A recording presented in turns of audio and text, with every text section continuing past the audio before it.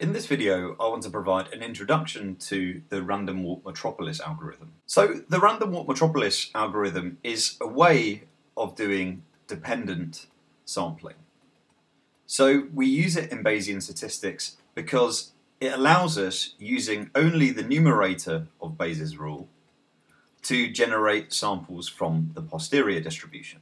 And so the random walk metropolis algorithm is perhaps the simplest and the best known version of Markov chain Monte Carlo algorithms.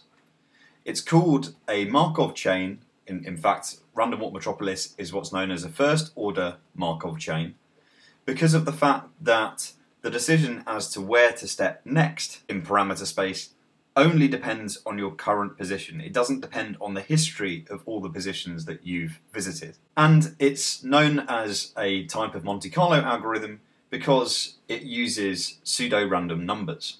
And so the idea here was that the analogy is imagining throwing a dice in a casino in Monte Carlo. Before you actually throw the dice, you don't know which number is going to turn up. So, in a sense, the throw of the dice is a random number generator. It's a type of dependent sampling algorithm because of the fact that where we step next depends on where we currently are. So, where we're going to sample next from in posterior space depends on where we are currently positioned. So now I'm going to define how this algorithm actually works. So the first step in this algorithm is that you sample a value of theta using some arbitrary proposal distribution. And I'm, I'm just going to call that here pi of theta. So this pi of theta can be kind of whatever you want.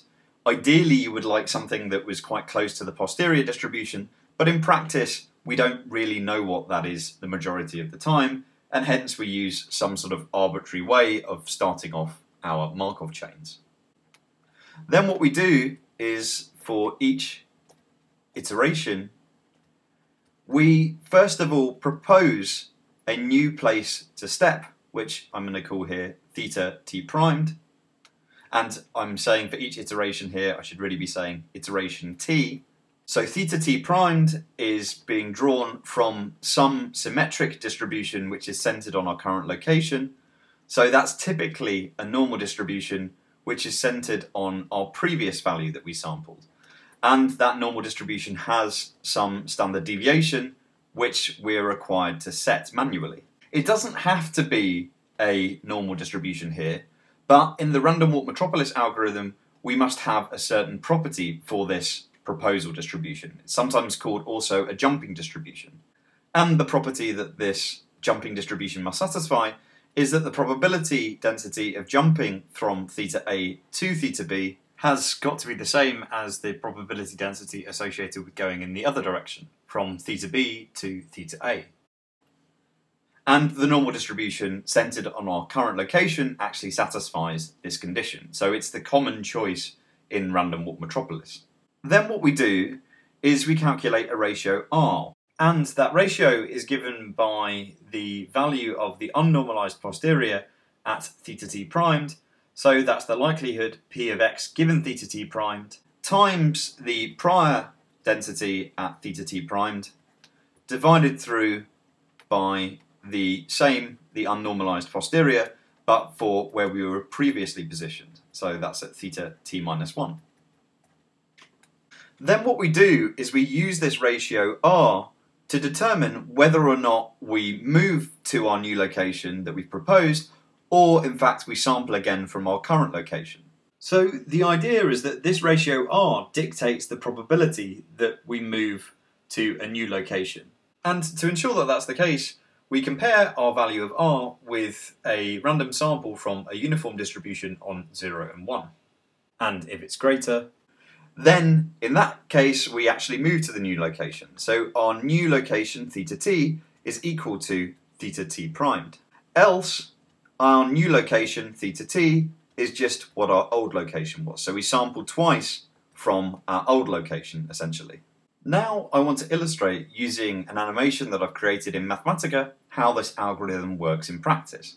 So imagine that we have some unnormalized entity which has this kind of shape which I've shown here. So the y-axis here, the vertical axis, is just the likelihood times the prior, and the bottom axis here is theta. So the idea with random walk metropolis is that we first of all start off by choosing some random starting location using some proposal distribution. So we might start off somewhere like this. So our current position of theta is just where we sort of intersect on the horizontal axis here. Then what we do is we use a proposal distribution centered on our current location, so here I've just used a normal, to propose a new location in theta space. Then what we do is we calculate the ratio r of the height of our current location with that of the proposed location. So here we can see that we're going from a height of around 1.2 to something like 0.7, which if you take the ratio of the unnormalized posterior at our new location or a proposed new location and compare that with our current location, then you get a value of r of about 0.58. Then what we do is we compare that value of r with a uniformly distributed random number between 0 and 1, and here we get, so we just so happen to have sampled a value of 0.82, and hence, because r is less than that value, we actually reject that location and we start again. Essentially, we sample twice from our current location. Then what we do in the next iteration of the algorithm, we propose a new location. And we see that for our new location, the height is greater than our current location and hence r is greater than 1 and hence r is always going to be greater than a uniformly distributed random number between 0 and 1 and hence we will always move to that new location.